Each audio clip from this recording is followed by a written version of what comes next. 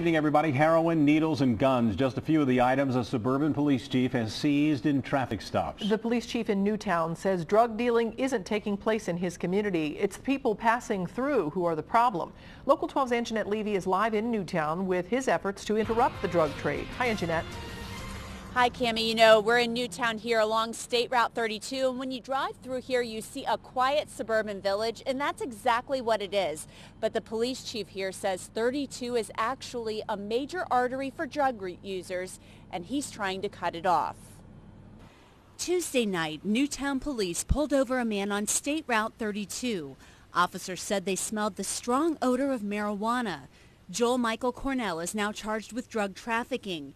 Newtown's police chief says Cornell had marijuana and wax, a potent form of marijuana's active ingredient, THC. What we were told is they actually ball it up into a little ball and then smoke it.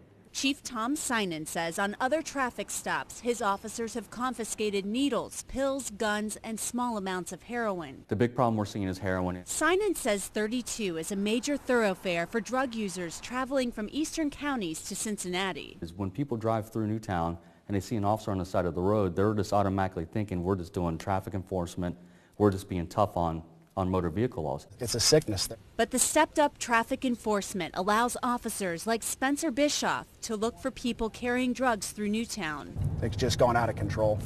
It's almost a, a, if not a daily, a weekly basis of coming across somebody. If, even if you're not finding something on them, you're still coming across people that admit to heroin use.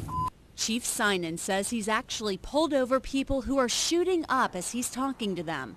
His efforts to crack down on drugs are about keeping his community and others safe. What we try to prevent is the residual crimes. And by residual crimes, I mean the burglaries, the thefts, the robberies, the shootings. Now, Chief Synan says the drug dealing isn't actually going on here, but he says a lot of people stop here on their way home to do drugs. Last week, a woman actually OD'd in the cemetery. They were actually able to bring her back, which is a good thing. He says this is actually a low crime community and he hopes his efforts ensure that it stays that way. Reporting live from Newtown, Angenette Levy, Local 12 News. Cami? All right, Angenette, thank you. And Chief Synan says his department sees eight or nine drug arrests from traffic stops per month.